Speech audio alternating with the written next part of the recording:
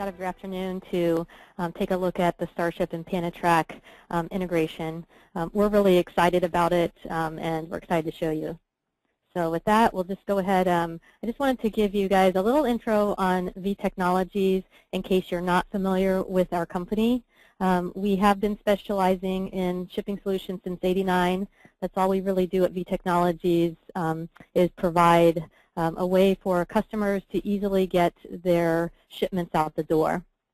We have quite a few years of um, extensive knowledge in the GP product, um, and we've built relationships with many carriers, both on the parcel and the LTL side, as well as related applications such as the Panatrack solution and EDI providers. We have um, thousands of customers using Starship um, to help gain, gain efficiencies in shipping and also accounts receivable and customer service. And we'll show you a little bit about um, how we can help you get your shipments out the door today. Kim, are you on? Yep, I'm on. Uh, we've been in business, as Adrian had pointed out, since 1996. Our Panatracker GP product, uh, which is directly integrated to Microsoft Dynamics, is a um, uh, has been in the, in the market since 2004. We have solutions for inventory and fixed assets. Um, and we'll be showing you some of the, uh, one of the key features of our inventory solution with the integration with uh, Starship. Um, and that's what we'll be showing uh, next.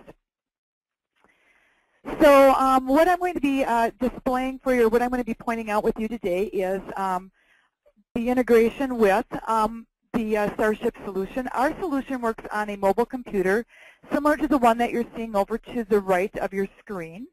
Um, and basically we're using the barcode technology and the ability to be able to capture transactions at the point in time that you're handling that inventory.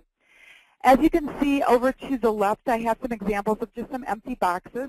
And one of the suggestions we use for this solution is we want to identify what's packed in each specific box. So what we recommend is potentially getting pre-printed serialized IDs, shipping box IDs that you can apply to your boxes to be able to scan in the inventory into, and I'll be showing you that on the handheld.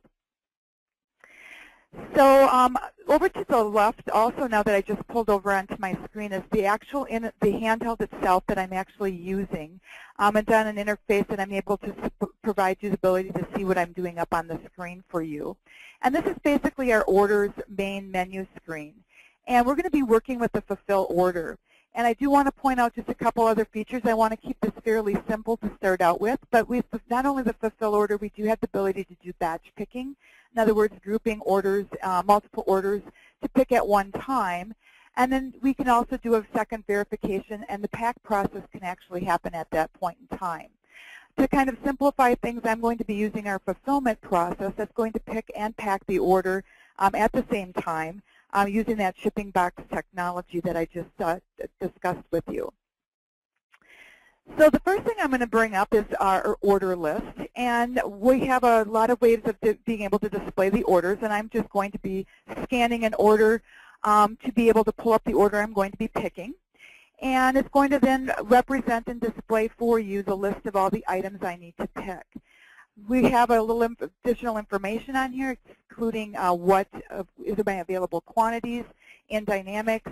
It's also going to be able to sort based on uh, bin location and the various different things there. So I'm going to just start with my first item, and I'm going to go into my pick screen.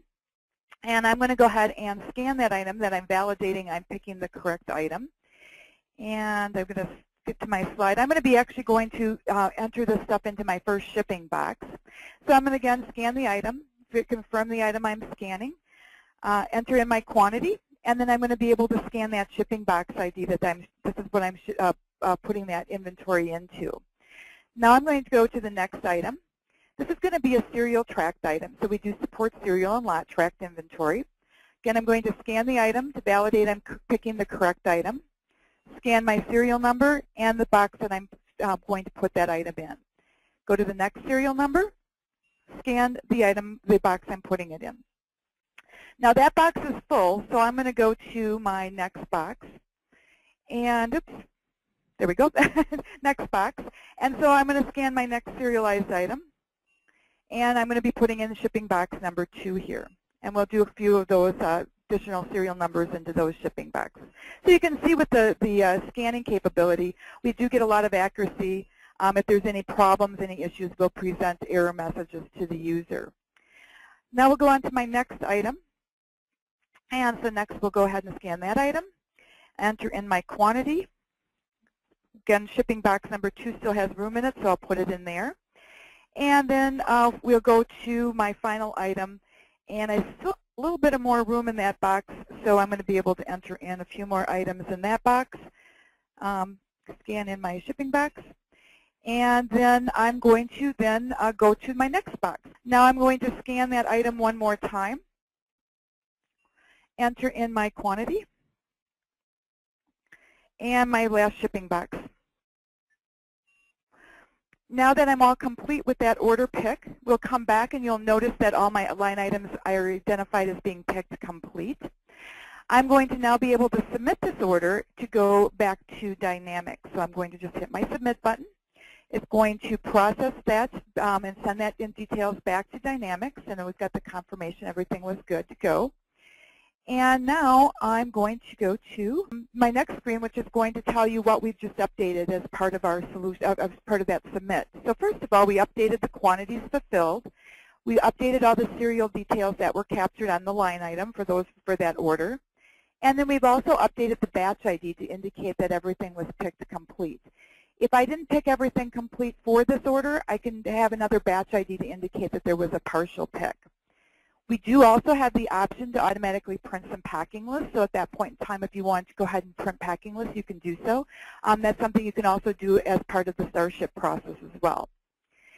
And now that I've got these my three boxes, the other information that we've sent, I've submitted all the details of that pick down to that box level and exactly what's in each of those boxes to a shared table infrastructure that we share with, uh, with Starship so that they can then grab that information to be able to then to, to accurately process your shipping uh, part of the solution.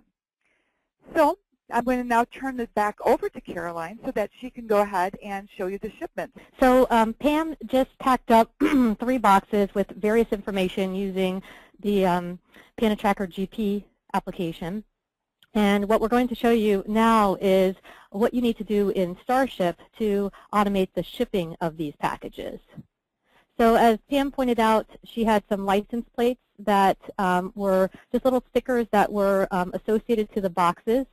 So in um, Starship, in this um, packed sales transaction that we now have um, in conjunction with uh, the PanaTracker solution, the um, shipper can just scan that barcode directly into Starship and Starship will come up with all the information.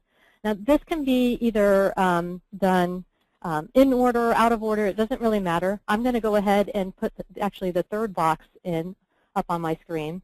And you'll notice what happened is Starship retrieved all of the header level information from the GP order.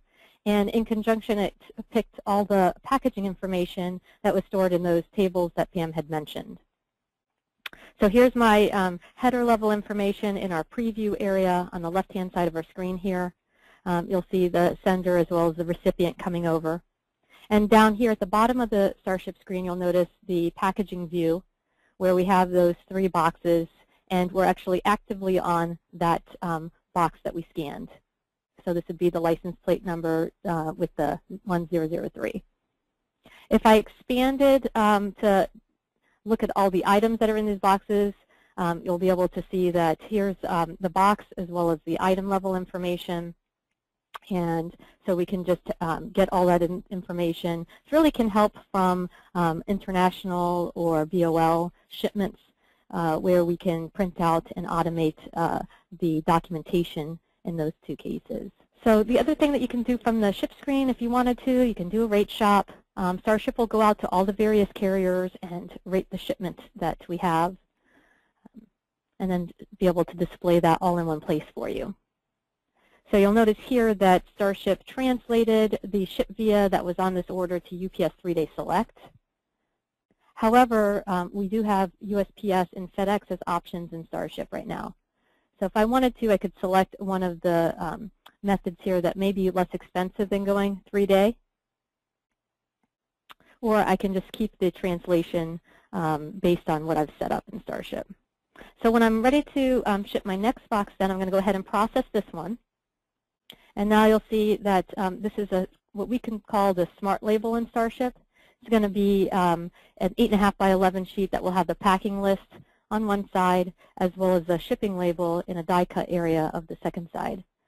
So the shipper can then place the shipping label directly on the box and put the packing list right inside.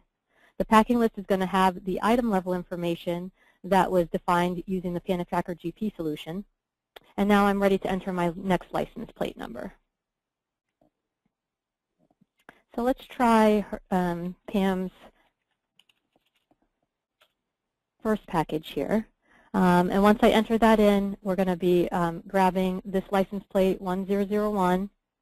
You'll notice also on my packaging tab that there is um, this SSCC number that's being generated by Starship. Starship can print the GS1-128 label, and we do have um, connections to EDI solutions such as TrueCommerce and Redtail. So that can automate your entire um, EDI workflow as well. So let's just go ahead and process this particular um, box, or box two of three. Again, we're going to have the packing list that's going to print the items that were in this box, as well as the related shipping label that will be put on the outside of the box. And my last one should be the 1002, and we can process this.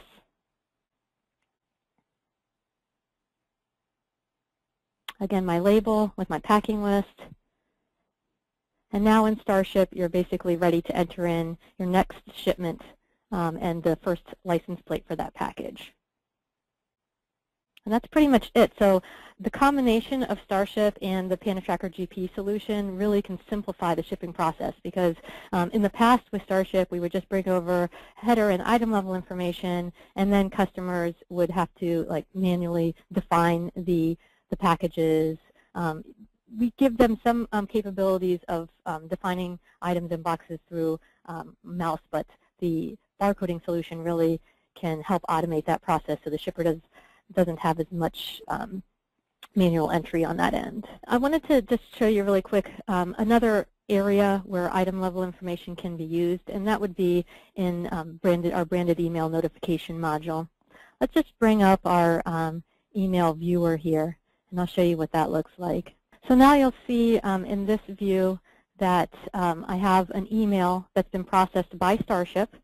it's branded to have an, a logo on it all the ship to information. And in the body of this email, you'll notice that I have all the package information as well as the tracking number that's associated to that package information, and then all the items that are in that package.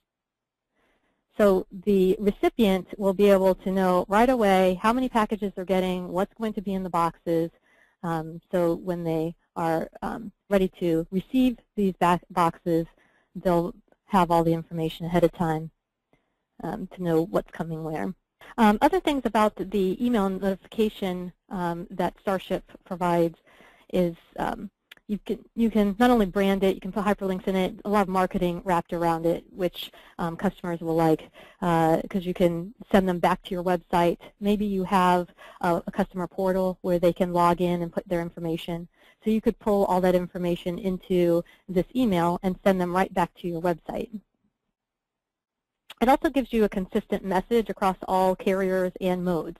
So Starship can send this exact same um, email for UPS, FedEx, Post Office, as well as your LTL carriers. And then you can also attach shipping documents such as um, BOL, commercial invoice, uh, any shipping document that you define on this template can be included. The other big thing with this email notification is that it will um, send these emails out as you're shipping, or it can. Uh, so as soon as the shipment is processed, this email can actually go out and the recipient will have access to the tracking information immediately. Um, you can also set the email notification to go out at specific times or in intervals um, there's a lot of flexibility wrapped around that. So in addition to getting all the output from um, an email and um, packing list and shipment label perspective, Starship will also update the sales transaction on the original order. So let me just go into um, sales transaction entry real quick and just show you what Starship can do from that perspective. Um, So the original order, I believe, was order 1110 PM. Type that in. So there's my order. Um, this is the order that Pam originally scanned in through the handheld and did all the packing on. Um, well, Starship can, um, after you've packed it up, we can update the notes with the um, detail, a little more detail about the, um, the shipment. This is all user-definable information here, so um, you can define exactly what you see in your note file if you'd like. We can also update the batch ID to shipped or whatever you um, wish that to be so that they can, uh, your front office or um, invoicing staff can see that these particular, this particular order has been shipped. Um, and then in the user-defined area, we can update the tracking number. So these go back to uh, the tracking number table inside of GP. And then the freight charges. These freight charges can include customizable handling fees. Starship also has something called freight rules that will allow you to define conditions, how and when the freight actually gets updated on the GP transaction.